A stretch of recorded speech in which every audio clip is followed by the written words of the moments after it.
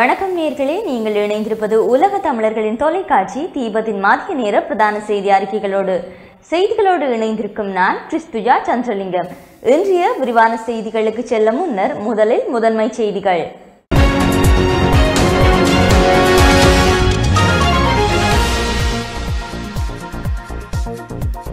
மாவட்டங்களுக்கு இடையில் பயண தடை அதிரடி அறிவிப்புகளை வெளியிட்டார் ஜனாதிபதி.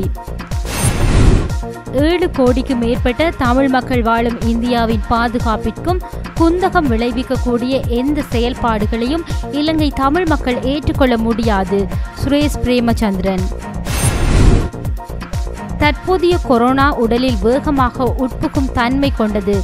சுகாதார அமைச்சர் பவித்ரா வன்னியாராச்சி எச்சரிக்கை. பாகிஸ்தான் ஆக்கிரமிப்பு செய்துள்ள காஷ்மீரின் பகுதிகள் அனைத்தும் இந்தியாவின் ஒருங்கிணைந்த நிலப்பகுதிகள். இந்திய வெளியுறவுத்துறை அமைச்சர் அனுரக் ஸ்ரீவத்சவா. கனடாவில் பொது ஊழியர்கள் மத அடையாளங்களுடனான உடைகள் அணிவதை தடை செய்யும் சட்டம் இருபத்தொன்றிற்கு எதிரான வழக்கு விசாரணை நாளை கியூபெக் நீதிமன்றத்தில் நடைபெற உள்ளது இந்தியன் பிரீமியர் லீக் தொடரில் ராஜஸ்தான் ராயல்ஸ் அணிக்கு எதிரான போட்டியில் கொல்கத்தா அணி அறுபது ஓட்டங்களால் வெற்றியீட்டியுள்ளது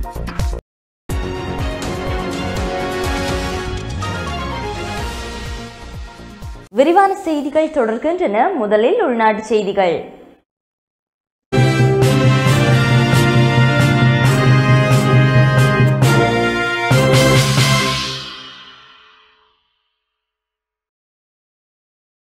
மக்களின் உயிருக்கு தீங்கு விளைவிக்காமல் பொருளாதாரத்தை மோசமாக பாதிக்காமல் கொரோனா பரவலை தடுக்கும் பல அறிவிப்புகளை ஜனாதிபதி கோட்டாபய ராஜபக்ஷ வெளியிட்டுள்ளார்.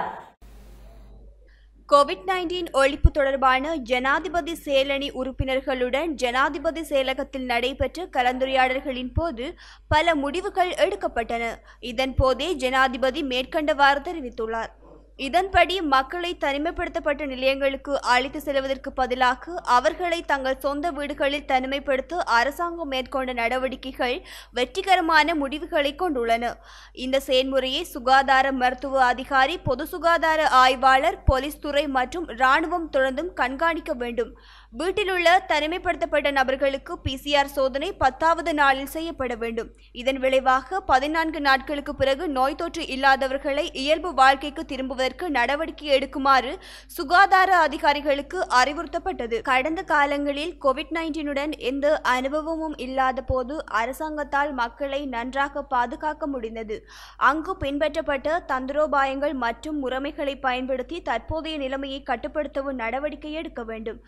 தொடர்ச்சியான மற்றும் வழக்கமான சீரற்ற சோதனைகளை செய்வது முக்கியம். மேலும் அவற்றின் முடிவுகளை குறுகிய காலத்தில் கொடுக்க வேண்டும். தனியார் மருத்துவமனைகள் அல்லது அரசாங்கத்தால் மேற்கொள்ளப்படும் பிசிஆர் சோதனைகள் முடிவுகள் கிடைக்கும் வரை தனிமைப்படுத்தப்பட வேண்டும். மற்றும் தனியார் மருத்துவமனைகளில் நடத்தப்படும் பிசிஆர் சோதனைகள் சுகாதார அமைச்சினால் உன்னிப்பாக கண்காணிக்கப்பட வேண்டும். கோவிட் நைன்டீன் தொற்றுக்கு பிறகு கூட்டாளிகள் மற்றும் பகுதிகளை தனிமைப்படுத்துவது பரப்புவதை தடுப்பதற்கான முன்னெச்சரிக்கை நடவடிக்கையாக கண்டறியப்படுகின்றது. தடையும் மீறி ஊரடங்கு உத்தரவு விதிப்பது நோய் பரவுவதை தடுக்கும் என்று எதிர்பார்க்கப்படுகின்றது. எனவே பாதிக்கப்பட்ட பகுதிகளில் ஊரடங்கு உத்தரவை கண்டிப்பாக அமுல்படுத்துமாறு போலீசாருக்கு அறிவுறுத்தப்பட்டது. பொருட்கள் விநியோகம் உள்ளிட்ட அத்தியாவசிய சேவைகளை தவிர்த்து மாவட்டங்களுக்கு இடையிலான பயணத்தை நிறுத்தவும் முடிவு செய்யப்பட்டது. பொருளாதார மறுமலர்ச்சிக்கான ஜனாதிபதி பணிக்குழுவின் தலைவர் பசில் ராஜபக்ஷ கடந்த காலங்களைப் போலவே ஊரடங்கு உத்தரவு காலத்திலும் அத்தியாவசிய பொருட்கள் விநியோகிக்கப்படும் மாவட்ட மற்றும் பிரதேச செயலாளர்கள் கிராம நிலாதாரிகள் நிலதாரிகள். கிராம நிலதாரிகள் மற்றும் உள்ளூராட்சி பிரதிநிதிகளுக்கு இந்த பொறுப்புகளை வழங்குவதன் மூலம் இந்த திட்டம் செயற்படுத்தப்படும் என்றும் மாதாந்த முதியோர் கொடுப்பனவு முன்பு போலவே வீட்டிலேயே ஒப்படைக்கப்படும் என்றும் ஜனாதிபதி கோட்டபாய ராஜபக்ஷ மேலும் தெரிவித்துள்ளார். வீட்டில் தனிமைப்படுத்தப்படுபவர்களுக்கு பத்தாயிரம் ரூபாய் மதிப்புள்ள அத்தியாவசிய பொருட்கள் அடங்கிய பொதியை வழங்கும் நடவடிக்கை எடுக்கப்பட்டுள்ளது. நோய் பரவுவதை கட்டுப்படுத்திய பின்னரும் நோய் கண்டறியப்பட்டால் நோய் பரவுவதற்கான காரணங்களை தனித்தனியாக விசாரிக்குமாறு அதிகாரிகளுக்கு அறிவுறுத்தப்பட்டுள்ளது. குறித்த விசேட கூட்டத்தில் சுகாதார அமைச்சர் பவித்ரா வன்னியராச்சி அமைச்சர் ரமேஷ் பதிரான ராஜாங்க அமைச்சர்களான சுதர்ஷினி பெர்னாண்டோ புல்லே சீதா அரம்பே போல பேராசிரியர் சன்ன ஜெயசுமன ஜனாதிபதி ஆலோசகர் லலித் வீரதுங்கு ஆகியோர் உட்பட்ட முக்கிய அதிகாரிகள் கலந்து கொண்டிருந்தமை குறிப்பிடத்தக்கது. ஏழு கோடிக்கும் மேற்பட்ட தமிழ் மக்கள் வாழும் இந்தியாவின் பாதுகாப்பிற்கு குந்தகம் விளைவிக்கக்கூடிய எந்த செயற்பாடுகளையும் இலங்கை தமிழ் மக்கள் ஏற்றுக்கொள்ள முடியாது என முன்னாள் பாராளுமன்ற உறுப்பினர் சுரேஷ் பிரேமச்சந்திரன் தெரிவித்துள்ளார். சமகால அரசியல் விடயங்கள் தொடர்பில் ஜாழ்ப்பாணத்தில் வைத்து ஊடகங்களுக்கு கருத்து தெரிவிக்கும் போதே சுரேஷ் பிரேமச்சந்திரன் இவ்வாறு தெரிவித்துள்ளார். அவர் மேலும் தெரிவிக்கையில் இந்து பசுபிக் பிராந்தியத்தில் தனது ராணுவ மேலாதிக்கத்தை நிலைநிறுத்திக் கொள்ள சீனா எடுத்திருக்கும் முயற்சிகளும் சீனாவின் மைய புள்ளியாக ஒரு முக்கியமான இடத்தில் இலங்கை இருப்பதனால் இலங்கையை பயன்படுத்துவதற்கு சீனா எடுக்கும் முயற்சிகளும் இவை வெறுமனே ஒரு பொருளாதார அடிப்படையில் தான் உறவுகள் இருக்கும் என்று கூறுவதும் கூட தொன்னூற்றி ஒன்பது வருட குத்தகைக்கு ஹம்பாந்தோட்டை துறைமுகத்தை சீனாவுக்கு கொடுத்திருக்கின்ற அடிப்படையில் இலங்கையினுடைய நிலைப்பாடுகள் தொடர்பாக அமெரிக்கா இந்தியா போன்ற நாடுகள் கவலை கொண்டிருக்கின்றார்கள். இது வெவ்வேறு பிரச்சனைகளுக்கும் வழிவகுக்கும் என அவர்கள் நம்புகின்றார்கள். அந்த வகையில் அமெரிக்கா யோசிக்கின்றது இலங்கைக்கும் சீனாவுக்கும் இடையில் இருக்கக்கூடிய இவ்வாறான நிலைகளை குறைத்துக் கொள்ள வேண்டும் என. இந்த விடயத்தை வெளிப்படையாக இலங்கைக்கு வருகை தந்து அமெரிக்க ராஜாங்க செயலாளர் மைக் பொம்பியோ கூறியிருக்கின்றார். இதே போன்று இந்தியாவும் கூட இலங்கை எடுத்திருக்கும் இவ்வாறான நடவடிக்கைகளால் சீனா தொடர்பில் இலங்கை கொண்டிருக்கின்ற கருத்துருவாக்கங்கள். இலங்கை மண்ணை சீனாவினுடைய தேவைகளுக்கு இலங்கை அரசாங்கம் கொடுத்திருக்கின்ற நிலைமை இந்தியாவிலும் ஒரு பாதுகாப்பு தொடர்பான கவலைகளை ஏற்படுத்தி இருக்கின்றது.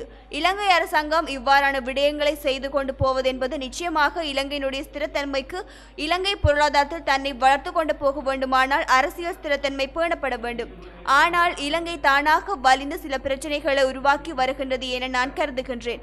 இந்த நிலையில் நிச்சயமாக இலங்கையில் இருக்கக்கூடிய தமிழ் மக்கள் எண்ணிக்கையில் குறைவாக இருந்தாலும் கூட அவர்களது நிலைப்பாடுகளுக்கு இது தொடர்பாக இலங்கை அரசாங்கத்திற்கு என்ன விடயங்களை சொல்ல போகின்றார்கள் அது மாத்திரமல்ல இந்தியாவினுடைய நீண்டகால நட்பாக இருக்கக்கூடிய இலங்கை தமிழ் மக்கள் இந்தியாவினுடைய பாதுகாப்பிற்கு பாதிப்பு ஏற்படாத வகையில் எவ்வாறு நடந்து கொள்ளப் போகின்றார்கள் இந்த விடயத்தை எவ்வாறு இந்தியாவிடம் கலந்துரையாட போகின்றார்கள் என பல பிரச்சனைகள் இருக்கின்றன. குறிப்பாக வடகிழக்கு என்பது இந்தியாவிற்கு அண்மையில் உள்ள பிரதேசம் என்பதும் இதற்குள் சீனா வெவ்வேறு பொருளாதார அபிவிருத்தி போன்றவற்றை காட்டி வருவது என்பது இந்தியாவுக்கு மேலும் பாதிப்பை உருவாக்கும். இதனை இலங்கை அரசாங்கம் ஏற்படுத்தக்கூடாது. தமிழ் அரசியல் கட்சிகள் இது தொடர்பாக மிக தெளிவான சிந்தனைக்கு வர வேண்டும். எமக்கு மிக அண்மையில் இருக்கக்கூடிய அண்டை நாடு மற்றும் நட்பு நாடு இந்தியா. ஏழு கோடிக்கும் மேற்பட்டு தமிழ் மக்கள் இருக்கக்கூடிய நாடு இந்தியா. அவ்வாறானதொரு நாட்டினுடைய பாதுகாப்பிற்கு பாதிப்பு விளைவிக்கக்கூடிய வகையிலான எந்த செயற்பாடுகளையும் இலங்கை தமிழ் மக்கள் ஏற்றுக்கொள்ள முடியாது. அந்த வகையில் இப்போது ஏற்பட்டு கொண்டிருக்கின்ற பிரச்சனை என்பது ஒரு பாரதூரமான நிலைக்கு இலங்கை அரசாங்கம் இந்த நாட்டை உட்படுத்துகின்றது என்ற அச்சம் எங்களுக்கு ஏற்பட்டிருக்கின்றது. ஆகவே இலங்கை அரசாங்கம் இதனை எவ்வாறு சீர் செய்ய போகின்றது என்ற பிரச்சனை இருக்கின்றது. அதேவேளை இலங்கை தமிழ் மக்கள் உறுதியான சில நிலைப்பாடுகளை எடுத்து தம்மை பாதுகாப்பது மாத்திரமல்ல தம்மை பாதுகாப்பதன் ஊடாக இந்தியாவினுடைய பாதுகாப்புக்கு ஏற்படக்கூடிய அச்சுறுத்தலுக்கு எதிராகவும் தமிழ் மக்கள் செயல்பட வேண்டும் எனும் தேவை வந்திருப்பதாக நான் கருதுகின்றேன். இதனை தமிழ் தேசிய பரப்பில் இருக்கும் சகல கட்சிகளும் ஒருமித்த முடிவாக எடுத்து செயல்பட வேண்டியது காலத்தினுடைய தேவையாக இருக்கின்றது எனவும் அவர் தெரிவித்துள்ளார். மேல் மாகாணத்தில் அமல்படுத்தப்பட்டுள்ள தனிமைப்படுத்தல் ஊரடங்கு நவம்பர் ஒன்பதாம் தேதி காலை ஐந்து மணி வரை தொடர்ந்து நீடிக்கப்பட்டுள்ளதாக அறிவிக்கப்பட்டுள்ளது. மேல் மாகாணத்தில் கொரோனா வைரஸ் தொற்றின் தாக்கம் அதிகரித்து வருகின்றமையினால் அதனை கட்டுப்பாட்டுக்குள் கொண்டு வரும் பொருட்டு தனிமைப்படுத்தல் ஊரடங்கு சட்டம் தொடர்ந்து நீடிக்கப்பட்டுள்ளதாக கொரோனா வைரஸ் தொற்றை கட்டுப்படுத்தும் செயலணியின் தலைவரும் இராணுவ தளபதியுமான சவேந்திர சில்வா தெரிவித்துள்ளார். ஊரடங்கு உத்தரவு குறித்து இன்று ஞாயிற்றுக்கிழமை அவர் வெளியிட்டுள்ள விசேட காணொளியிலேயே இவ்வாறு குறிப்பிட்டுள்ளார். இதேவேளை முன்னதாகவே ஊரடங்கு சட்டம் அமுல்படுத்தப்பட்டு அறுபத்தி எட்டு போலீஸ் பிரிவுகளில் தொடர்ந்து ஊரடங்கு அமுலில் இருக்கும் என்றும் அவர் மேலும் தெரிவித்துள்ளார். அத்துடன் ஊரடங்கு சட்டம் அமுல்படுத்தப்பட்ட பகுதிகளுக்கு எக்காரணம் கொண்டும் வேறு பகுதிகளிலிருந்து வருகை தரவோ ஊரடங்கு பிறப்பிக்கப்பட்டுள்ள பகுதிகளிலிருந்து மக்கள் வெளியேறவோ முற்றாக தடை விதிக்கப்பட்டுள்ளதாகவும் சவேந்திர சில்வா குறிப்பிட்டுள்ளார். இதேவேளை எஹல் எஹலியகோட போலீஸ் பிரிவுக்கு நாளை காலை முதல் நவம்பர் ஒன்பதாம் திகதி அதிகாலை ஐந்து மணி வரையில் தனிமைப்படுத்தல் ஊரடங்கு உத்தரவு பிறப்பிக்கப்படுவதாகவும் அவர் தெரிவித்துள்ளார். மேலும் பூஜ்ஜியம் ஒன்று ஒன்று ஏழு ஒன்பது ஆறு ஆறு மூன்று ஆறு ஆறு என்ற இலக்கத்திற்கு அழைத்து கொரோனா வைரஸ் தொற்று தொடர்பாக வைத்திய ஆலோசனைகளை பெற்றுக்கொள்ள முடியும் எனவும் இராணுவ தளபதி கூறியுள்ளார். நாட்டில் அதிகரித்து வரும் கொரோனா தொற்றாளர்களின் எண்ணிக்கையை கருத்தில் கொண்டு கம்பஹா மாவட்டம் உள்ளிட்ட அறுபத்தி எட்டு போலீஸ் பிரிவுகளில் முன்னதாக ஊரடங்கு சட்டம் அமுல்படுத்தப்பட்டது. அதனைத் தொடர்ந்து கடந்த வியாழக்கிழமை நள்ளிரவு முதல் மேல் மாகாணத்திலும் தனிமைப்படுத்தல் ஊரடங்கு சட்டம் அமுல்படுத்தப்பட்டிருந்தமை குறிப்பிடத்தக்கது. நாட்டில் தற்போது பரவும் கொரோனா வைரஸ் உடலில் வேகமாக உட்புகும் தன்மை கொண்டது என தெரிவித்துள்ள சுகாதார அமைச்சர் பவித்ரா வன்யாராஜி கொரோனா வைரஸ் பரவலை கட்டுப்படுத்த பொதுமக்களும் அரசாங்கத்துக்கு உரிய ஒத்துழைப்புகளை வழங்க வேண்டும் எனவும் அவர் மேலும் கோரிக்கை விடுத்துள்ளார். கொரோனாவின் நிலைமை குறித்து ஊடகங்களுக்கு கருத்து வெளியிடும் போதே அவர் இதனை தெரிவித்துள்ளார். தொடர்ந்தும் அவர் கருத்து தெரிவிக்கையில் இலங்கையில் தற்போது பரவும் வைரஸ் வேறுபட்ட தன்மையை கொண்டுள்ளமையால் இது தொடர்பான ஆராய்வுகளை மேற்கொள்ளுமாறு ஜனாதிபதி பணிப்புரை விடுத்துள்ளார்.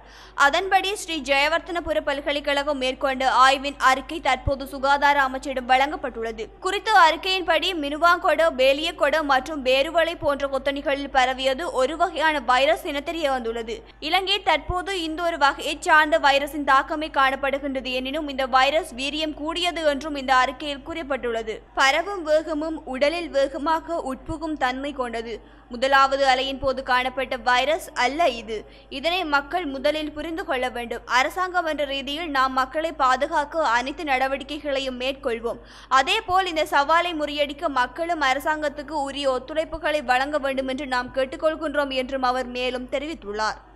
கொரோனா வைரஸ் தொற்று பரவலை தடுப்பதற்காக பிறப்பிக்கப்பட்டுள்ள ஊரடங்கு உத்தரவு விதிமுறைகளை முறையாக கடைபிடிக்குமாறு போலீஸ் ஊடக பேச்சாளரான பிரதி போலீஸ் மா அதிபர் அஜித் ரோகன மக்களுக்கு வேண்டுகோள் விடுத்துள்ளார்.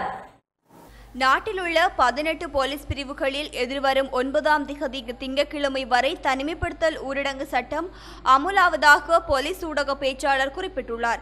இவற்றில் மேல் மாகாணத்தைச் சேர்ந்த நூற்றி பன்னிரண்டு போலீஸ் பிரிவுகளும் குளியாப்பிட்டியில் ஐந்து போலீஸ் பிரிவுகளும் எகலியகோடு போலீஸ் பிரிவும் உள்ளடங்குகின்றன. இதற்கு அப்பால் குருநாகல் மாநகர சபை எல்லையிலும் தனிமைப்படுத்தல் ஊரடங்கு சட்டம் அமுலாகின்றது.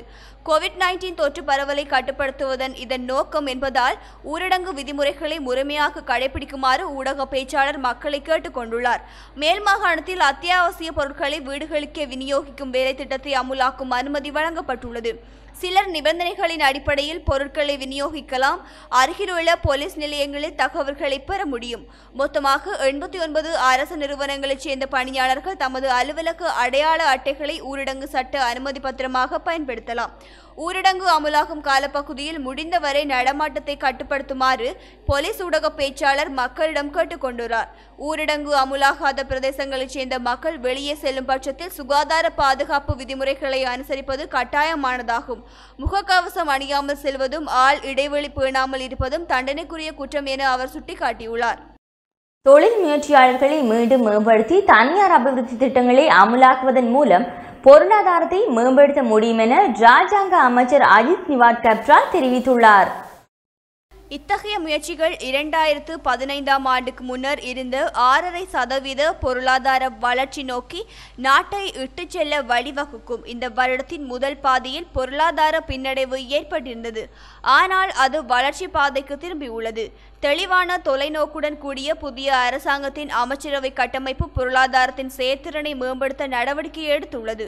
இதற்கு அப்பால் விவசாய கைத்தொழில் பெட்ரோலிய துறைகள் சார்ந்த ஏற்றுமதி வாய்ப்புகளை மேம்படுத்தவும் அதன் மூலம் துறைமுக நகர் கம்பாந்தோட்டை துறைமுக தொழில் வலயம் முதலான திட்டங்கள் ஊடாக போதிய வசதிகளை ஏற்படுத்தவும் நடவடிக்கை எடுக்கப்பட்டுள்ளது. கடந்த ஆண்டுடன் ஒப்பிடுகையில் இந்த வருடத்தின் முதல் ஒன்பது மாதங்களுக்கான இறக்குமதி செலவினத்தில் முன்னூறு கோடி டாலரை சேமிக்க முடிந்துள்ளது. இதன் மூலம் ஏற்றுமதிக்கும் தொழில் படைக்கும் அனுகூலங்கள் கிடைத்துள்ளதாக ராஜாங்க அமைச்சர் குறிப்பிட்டுள்ளார். ரூபாவின் பெறுமதி ஸ்திரமான மட்டத்துக்குள் வந்துள்ளது. அந்நிய செலாவணி சந்தையில் முன்னூறு மில்லியன் டாலரை கொள்வனவு செய்ய மத்திய வங்கிக்கு முடிந்துள்ளது. இதன் காரணமாக அக்டோபர் மாதத்தில் சர்வதேச பிணைமுறைகளுக்காக முறைகளுக்காக நூறு பில்லியன் டாலரை திருப்பிச் செலுத்துதல் அடங்கலாக நானூறு பில்லியன் கடனை திருப்பிச் செலுத்த முடிந்துள்ளது. சீனா அபிவிருத்தி வங்கியிடம் இருந்து எழுநூறு மில்லியன் டாலரை பெறுவது பற்றி பேச்சுவார்த்தை நடத்தப்படுகின்றது என்று அவர் மேலும் தெரிவித்துள்ளார். குறுகிய காலத்துக்குள் ஸ்ரீலங்கா பொதுஜன பெரமுன மக்கள் ஆணையை முழுமையாக பெற்றுள்ளது. மக்களின் ஆதரவை எதிர்காலத்திலும் பொதுஜன பெரமுன பெறும் என கட்சியின் தவிசாளர் கல்வி அமைச்சர் பேராசிரியர் ஜி எல் பீரிஸ் அறிக்கை வெளியிட்டுள்ளார். ஸ்ரீலங்கா பொதுஜன பெரமுனவின் நான்கு வருட நிறைவினையொட்டி அவர் வெளியிட்டுள்ள அறிக்கையில் மேலும் குறிப்பிடப்பட்டுள்ளதாவது இரண்டாயிரத்தி பதினைந்தாம் ஆண்டில் பல்வேறு நோக்கங்களை அடிப்படையாக கொண்டு ஆட்சி மாற்றம் ஏற்படுத்தப்பட்டது. அரசியல் ரீதியில் பெரும்பாலானோர் தனித்து விடப்பட்டார்கள். ராஜபக்சர்களின் ஆட்சி நாட்டுக்கு அவசியம் என நாட்டு மக்கள் எதிர்பார்த்தார்கள். அனைவரது அபிலாஷைகளை கருத்தில் கொண்டு ஃபசில் ராஜபக்ஷ இரண்டாயிரத்தி பதினாறாம் ஆண்டு நவம்பர் மாதம் இரண்டாம் திகதி வரை தாமரை மோட்டு சின்ன ஸ்ரீலங்கா பொதுஜன பெரமுனவில் பிரவீன் கட்சியை ஸ்தாபித்தார். இரண்டாயிரத்தி பதினெட்டாம் ஆண்டு பிப்ரவரி மாதம் இடம்பெற்ற உள்ளூராட்சி மன்ற தேர்தலில் மக்களின் அரசியல் தீர்மானம் வெளியிடப்பட்டது. கட்சியை உருவாக்கி குறுகிய காலத்துக்குள் எழுபத்தி ஒரு ஆசனங்களை கைப்பற்றுவது சாதாரண விடயமல்ல அதனைத் தொடர்ந்து இரண்டாயிரத்தி பத்தொன்பதாம் ஆண்டு நவம்பர் மாதம் இடம்பெற்ற ஜனாதிபதி தேர்தலில் வெற்றி இரட்டிப்பானது. சுமார் அறுபத்தி ஒன்பது லட்சம் மக்கள் ஜனாதிபதி கோத்தபாய ராஜபக்ஷவுக்கு ஆட்சி அதிகாரத்தை வழங்கி பலமான அரசு நிர்வாகத்தை உருவாக்கினார்கள். நாட்டில் உள்ள சகல பாடசாலைகளையும் மூன்றாம் தவணை கல்வி நடவடிக்கைக்காக மீண்டும் திறப்பதற்கான திகதியை தீர்மானிக்க கல்வி அமைச்சு இந்த வாரம் முக்கிய கூட்டத்தை நடத்தவுள்ளது. மேல் மாகாணம் குருநாகல் நகரம் குளியாப்பிட்டிய மற்றும் எகலியகொடு போலீஸ் பிரிவுகளுக்கு நவம்பர் ஒன்பதாம் திகதி வரை தனிமைப்படுத்தல் ஊரடங்கு உத்தரவு நீடிக்கப்பட்டுள்ளது. இதனால் பாடசாலைகளை மீண்டும் திறக்கும் திகதியை கல்வி அமைச்சு இந்த கூட்டத்தில் மறுபரிசீலனை செய்ய உள்ளது. கல்வி அமைச்சகம் சுகாதார சேவை அதிகாரிகள் மற்றும் ஜனாதிபதி கோத்தபாய ராஜபக்ஷ தலைமையிலான கோவிட் நைன்டீன் ஒழிப்பு செயலணி ஆகியவற்றுக்கு இடையே நடைபெற உள்ள கூட்டத்தை தொடர்ந்து மூன்றாம் தவணைக்காக பாடசாலைகளை ஆரம்பிக்கும் திகதி மறுபரிசீலனை செய்யப்படும் கடந்த நான்கு வாரங்களாக நடைபெற்ற காப்போத்த உயர்தர பரீட்சைகளைத் தொடர்ந்து மூன்றாம் தவணைக்காக அரசு பாடசாலைகளை நவம்பர் ஒன்பதாம் திகதி மீண்டும் திறக்கும் முன்னர் தீர்மானம் எடுக்கப்பட உள்ளதாக கூறப்படுகின்றது. இந்த நிலையில் நாட்டில் அதிகரித்துள்ள கொரோனா அச்சம் காரணமாக எதிர்வரும் நாட்களில் பாடசாலைகள் திறக்கப்படுவதை சுகாதார அமைச்சின் தொற்று நோயர் பிரிவு எச்சரித்துள்ளது என்பது குறிப்பிடத்தக்கது. சிறிய விளம்பர இடைவெளியினை தொடர்ந்து இந்திய மற்றும் வெளிநாட்டு செய்திகளை எதிர்பாருங்கள்.